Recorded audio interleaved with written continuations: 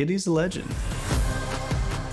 I am Paul Dano, and I play Roaring Kitty. I don't think he was trying to start a movement. I'm gonna pick a stock and talk about why I think it's interesting, and that stock is GameStop. He's like, this is who I am. I'm wearing a cat shirt and a bandana. Who is this schmuck? He's real. And I think that's why people responded to him. Yeah, I think everyone else is crazy, and I think I'm right. I love this guy. And it ended up spreading like wildfire. If he's in, I'm in. If he's in, I'm in. It was like an army, you know, of retail traders, millions of people. Another record high. Roaring Kitty, I love you! How much higher is it gonna We go? control the price now, not Wall Street. And I think everybody can get behind that underdog, you know, coming up against the man. I just like the stock. Dumb Money, exclusively in movie theaters. Rated R,